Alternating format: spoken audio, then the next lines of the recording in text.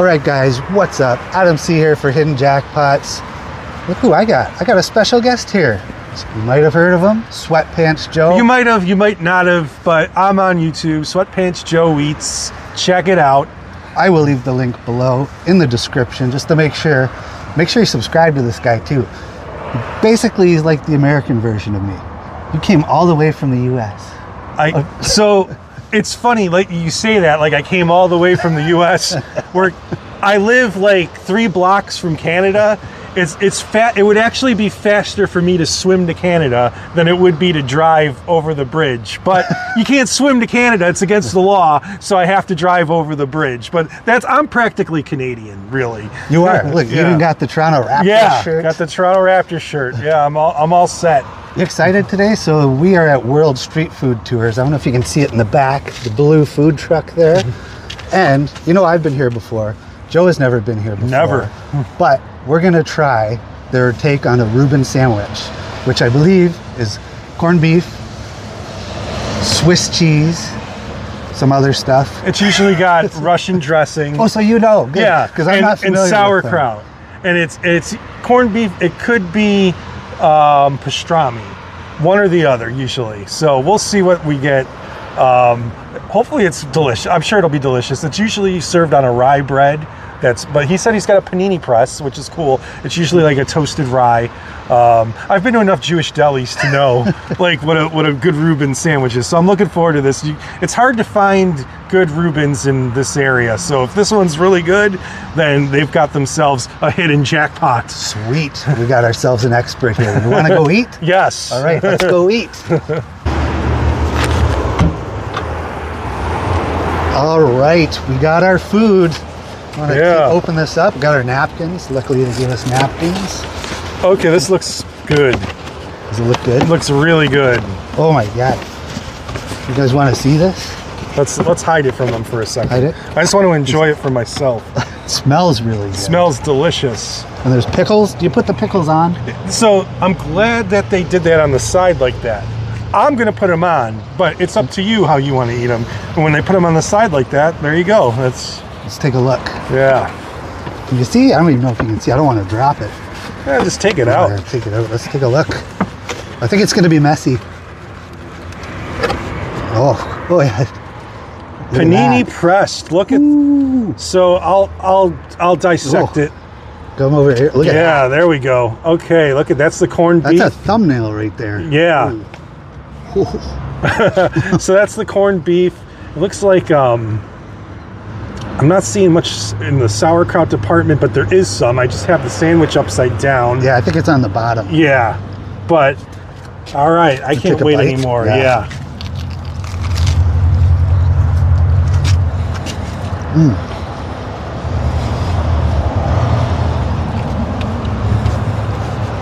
I can't even speak. I'm speechless.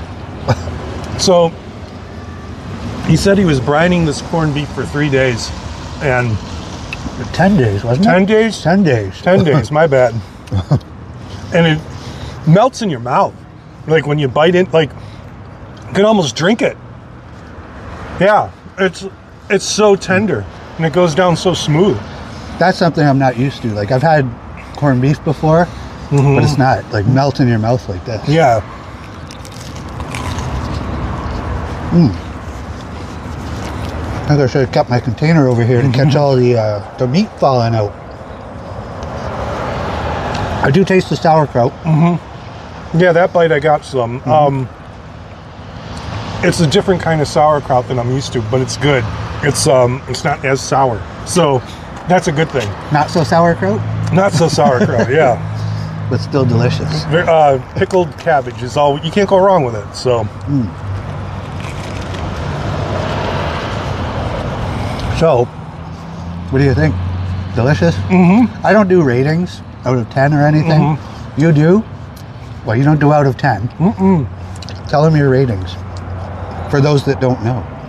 So I usually do on a scale of PU, it stinks, to sunshine, lollipops, and rainbows.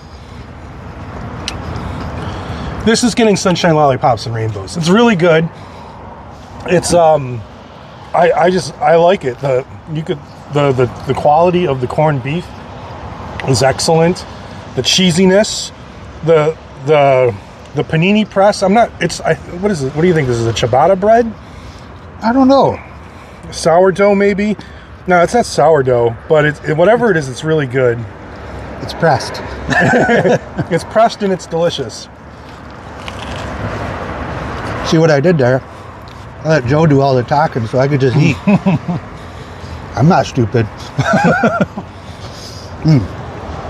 All right. So I agree with Joe. This is delicious. You glad you came over for this? Oh yeah, totally. Like I said before, it's very hard finding a good pastrami sandwich in this area, or a good Reuben sandwich in this area. Even though this is corned beef. But that being said, this is really good. If you're in this area, you should definitely come. It's on the intersection of what is it, Wood Woodridge? Woodbine, Woodbine. and Morris, Montrose. Woodbine Even- and I live here Montrose. and I got it wrong. Woodbine Right. and Montrose. You notice there's a sign on the corner that says food truck with a big thumb pointing to it. Pretty easy to find. Oh, Yeah, it's really good. Um, if you're American and you're over here, you should come and check it out. It's excellent. If you're Canadian and you live here, you should be here all the time. Mm-hmm. Like it's really good. How are, are they open all the time? So right now they have their winter hours. We're closed Saturday and Sunday, and then it's limited hours during the week. But I think two nights out of the week they're open till like 6:30, 7:30. Okay. Yeah, I could Cool. tell we're like in an industrial area, mm-hmm. so they probably just do like lunch breaks for people in the area. Yeah. But it's it's excellent, and yeah, like I said, if you're my American friends and you're here and you're hanging out, definitely make your way over here. Get off of Clifton Hill. Yes. You could. You, Tony Romas will be there. Just get o- get over here and check it out. Easiest way to get here too from Clifton Hill, catch the 420 to Montrose, take a right, and you'll you'll see it. It's right on Montrose. You know what we didn't do yet? What's that? The pickle. Oh yeah, I'm gonna try one of these pickles. You didn't even put a pickle on your sandwich. I forgot. I got excited. I'll just put it on the top. It's a pickle. It's not a bad pickle. It's a pickle. mm. All right. Any last words, Joe? That's a great pickle, actually. I really like that. Take a bite with the sandwich with the pickle. Oh, I gotta try it. It adds a whole new dimension.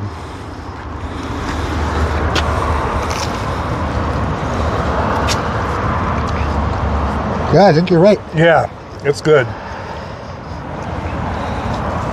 All right. Now, any last words? Is that your last words? Check out my channel. We're gonna eat a steak. That's coming up as well. So, still chewing. Apologize. if you like this video, make sure you hit the subscribe button. Obviously, give this video a thumbs up because, you know, we all need it. We all need a thumbs And up. And comment comment below. Have you been here? Do you like Reubens? If not, you have a ton of other stuff to eat. Tell us another one of your favorite hidden mm. jackpots to check out. That's it. World Street Food Tour. Sweatpants Joe. I'm Adam C. We're out. Ciao.